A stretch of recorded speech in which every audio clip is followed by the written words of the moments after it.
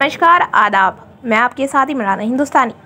नजीबाबाद नगर पालिका से संभावित उम्मीदवार व all India Majlisi Muslimeen party के नेता अब्दुल्ला गुलजार ने जनसंपर्क कर नजीबाबाद वासियों को दीपावली, भैया दूज और गोवर्धन पूजा की हार्दिक शुभकामनाएँ दी।